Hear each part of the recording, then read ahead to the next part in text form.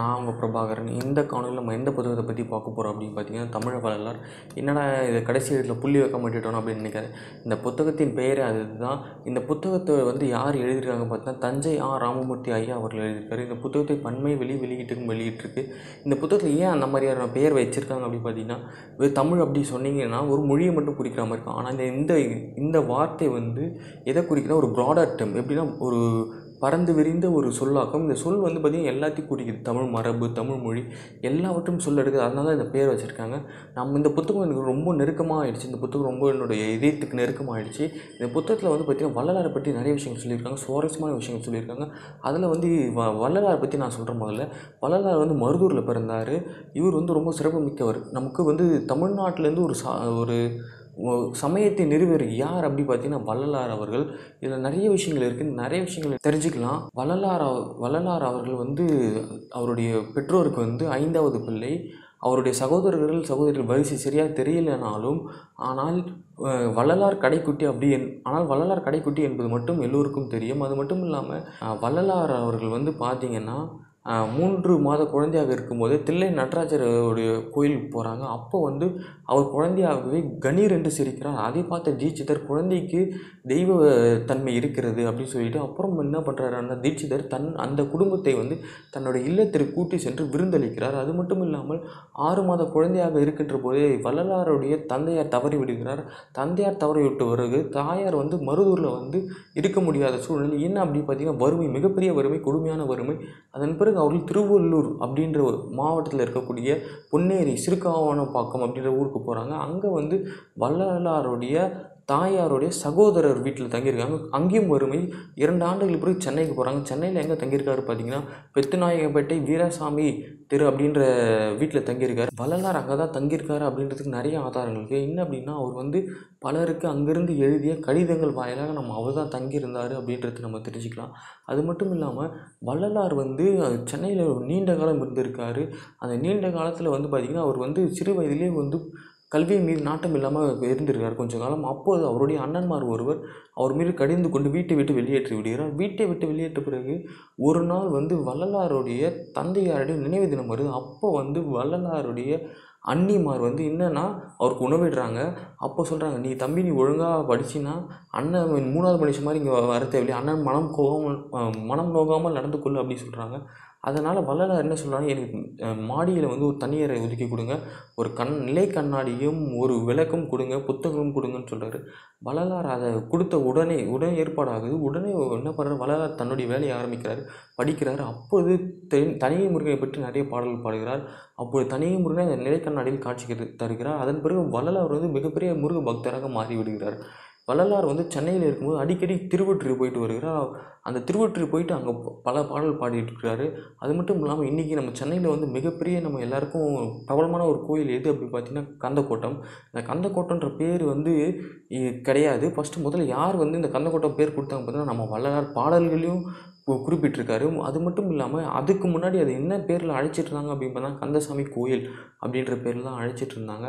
வள்ளலார் வந்து நீண்ட காலம் சென்னையில் இருந்தாலும் ஒரு குறிப்பிட்ட காலத்திற்கு அங்கே இருக்க விருப்பம் இல்லாமல் அவர் வடலூரை நோக்கி போகிறார். வடலூரை நோக்கி போகும்போது அவர் வந்து ஒரு சத்திய நாணசம்பி நிறுவனம் அப்படின்னு இருக்காரு. ஆனால் அந்த குறிப்பிட்ட கால இடைவெளிக்கு வரலும் அவர் ஒரு ஒருத்தர் வீட்டில் தங்கியிருக்காரு. எங்கே அப்படின்னு பார்த்தீங்கன்னா கருங்குழியில் இருக்கக்கூடிய வெங்கட ரெட்டியார் முத்தியால அம்மாள் அவர்களுடைய இல்லத்தில் தங்கியிருக்கார். சுமார் ஒன்பது ஆண்டுகள் தங்கியிருக்கார்.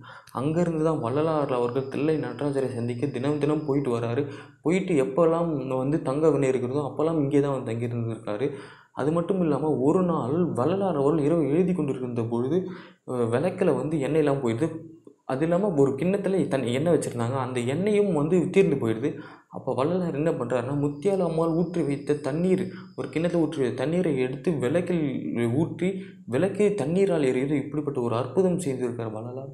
அது மட்டும் இல்லாமல் அது அதற்கான வரலாற்று சான்றுகள் அதுக்கான சான்றுகளை வள்ளலாருடைய பாடல்களே இருக்குது அப்படின்னு நம்ம தெரிஞ்சுக்கிறோம். வள்ளலாருக்கு நிறைய பேர் வந்து கடிதம் எழுதியிருக்கிறார்கள். நிறைய பேர் நெருக்கமானாலும் ஒரு சிலர் வந்து ரொம்ப முக்கியமானவங்களாக இருந்திருக்காங்க. அதன் பிறகு வள்ளலார் வந்து ஒரு குறிப்பிடத்தகுந்த விஷயம் செஞ்சுருக்காரு. இது எனக்கு மிகவும் நெருக்கமான விஷயம். வள்ளலார் பற்றி அப்படின்னா இதுதான்.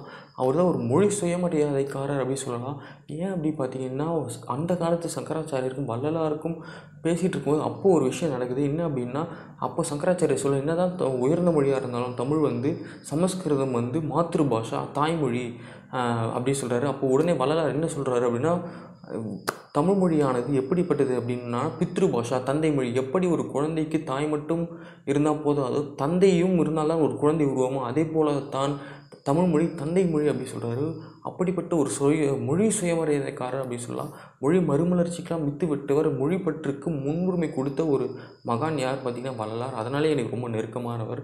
அது மட்டும் இல்லாமல் வள்ளலார் செய்த அற்புதங்கள் நிறைய இருக்குது வள்ளலார் வந்து வடலூரில் சத்தியநாராயண சபை நிறுவுறாரு. அப்போது வந்து பார்த்திங்கன்னா மக்களாக தாமாக முன்வந்து சுமார் எண்பதுக்கான நிலத்தை கொடுக்குறாங்க. இந்த எண்பதுக்கான நிலம் என்பது நூறு ஏக்கருக்கு மிக அதிகமான நிலம். அது மட்டும் இல்லாமல் இதில் யார் யாரெல்லாம் இந்த நிலம் கொடுத்துருக்காங்க பார்த்தா அந்தனர்கள் விதவைகள் தாழ்த்தப்பட்டவர்கள் ஒடுக்கப்பட்ட மக்கள் எல்லா சமுதாய மக்களும் கொடுத்துருக்காங்க.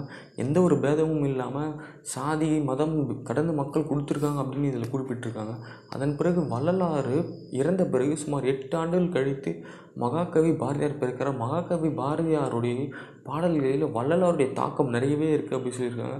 அது மட்டும் இல்லாமல் வள்ளலாருடைய மு மொழி பற்றை வந்து பாரதியாரும் வெளிப்படுத்தியிருக்காரு சொல்லியிருக்காங்க.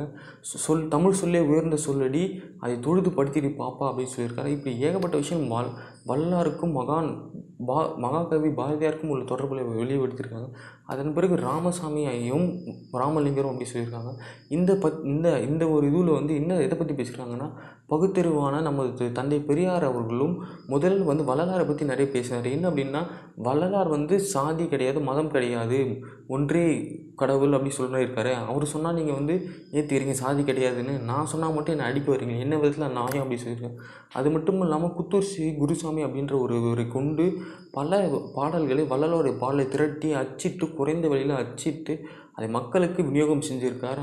அது மட்டும் இல்லாமல் சாமி சிதம்பரனார் அப்படி போன்றவர்களும் கொண்டு பல அற்புதமான விஷயங்களே நமது தந்தை பெரியார் அவர்கள் வள்ளலார் பற்றி மக்களுக்கு எடுத்துருக்கிறார். ஏன் அப்படின்னு பார்த்தீங்கன்னா அந்த சாதியோட கொடுமையிலேருந்து வெளியே வரணும். மக்கள் வந்து வெளியே வரணும் இந்த கொடுமையிலேருந்து அப்படின்றதுக்காக பண்ணியிருக்காங்க. அது மட்டும் இல்லாமல் வள்ளலார் எப்படி ஒரே கடவுள் ஒன் அப்படின்னு போனாரோ அந்த வறுப்பெரும் ஜோதியை கடவுள் போனாரோ தந்தை பெரியார் அவருடைய தோழர்கள் வந்து பார்த்திங்கன்னா நாத்திகத்தை நோக்கி போனாங்க. அதை தாண்டிய நிலை எப்படின்னா ஒன்றே கடவுள் பல கடவுள் இருக்கின்றன.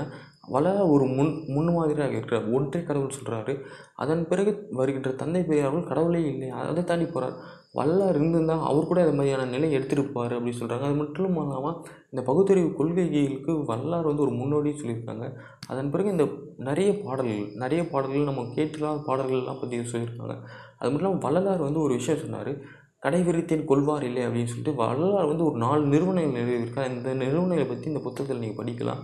அது மட்டும் இல்லாமல் வள்ளலார் அவர்கள் தன்னுடைய கடைசி காலத்தில் மேட்டுக்குப்பம் சித்தி வளாகத்தில் முக்தி பெறுறாரு. ஐம்பத்தோராவது வயதில் முக்தி பெறுறாரு ரொம்ப சிறப்பான புத்தகம். ஏன் இந்த புத்தகம் நான் படிக்கணும் நீங்கள் அப்படி சொல்லுவோன்னு பார்த்தீங்கன்னா இது வந்து நிறைய விஷயம் சொல்லித் தருது. இப்போ நம்முடைய பல மதங்களில் பார்த்தீங்கன்னா பல சமுதாயங்கள் பல சடங்குகள் இது வந்து மனிதனுக்கு வந்து பார்த்திங்கன்னா செலவினங்கள் கொடுக்குது.